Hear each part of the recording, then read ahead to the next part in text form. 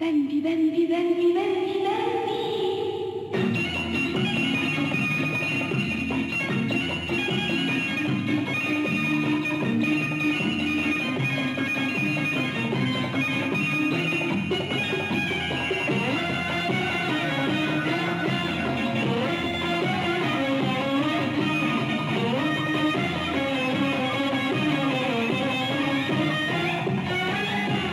Bambi.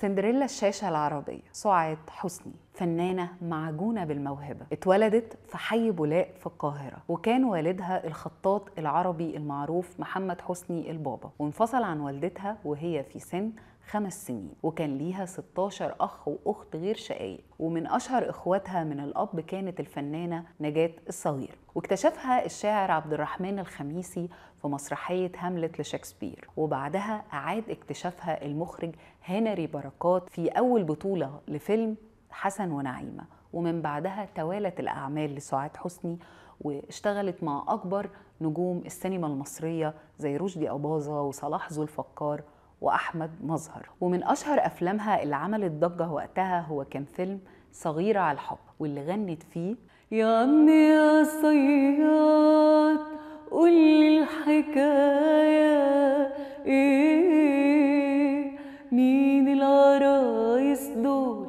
مالهم حزانة ليه؟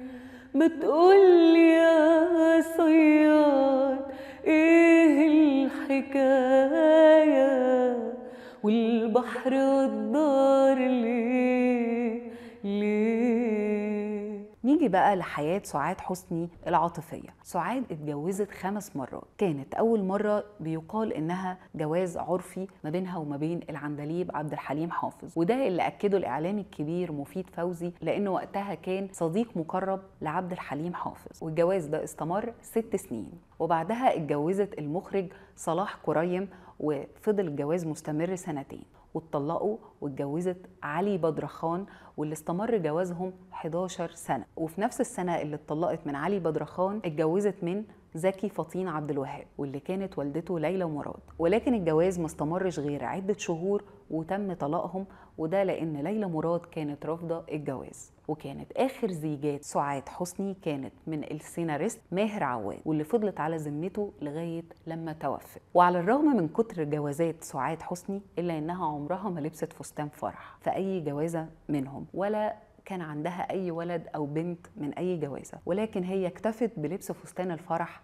في أعمالها الفنية. ووصل الرصيد الفني لسعاد حسني ل 91 فيلم ومن أشهرهم الكرنك والزوجة التانية وأين عقلي وشفيقة ومتولي واللي غنت فيه أغنية من أحلى أغانيها اللي كانت بانوا بانوا بانوا على أصلكوا بانوا والساهي يبطل سهيانه ولا غنى ولا صيت دولا جنس غوي وكتابنا يبان